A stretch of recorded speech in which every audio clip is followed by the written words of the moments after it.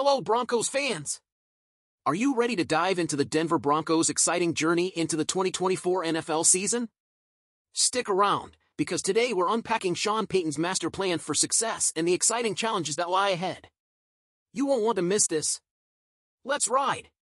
The Denver Broncos are entering a pivotal season under the new leadership of head coach Sean Payton. After a disappointing year and the dramatic departure of Russell Wilson, the team is looking for a fresh start.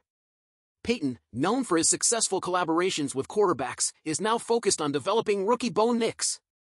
The goal? To turn things around and possibly make the playoffs for the first time in eight years.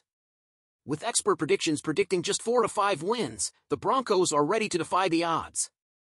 A strong defense led by Coach Joseph and effective competition in the highly competitive AFC are key components of this turnaround.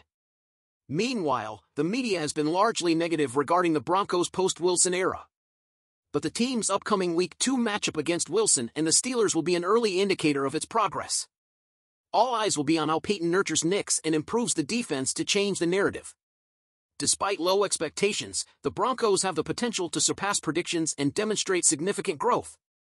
Success depends on Payton's strategic acumen and Nix's early performance. This season is about more than just wins, it's about building positive momentum for the future. So, Broncos Nation, what do you think?